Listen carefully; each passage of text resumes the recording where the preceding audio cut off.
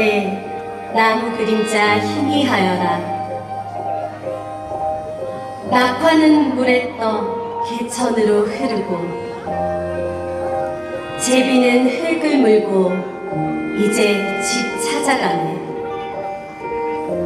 누워도 못 이룰 꿈이요. 하늘엔 기러기도 없구나.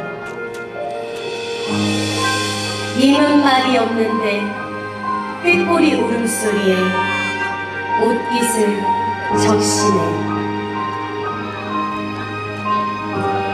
인연에 관한 짧은 예시입니다. 여러분들에게 인연이란 무엇인가요?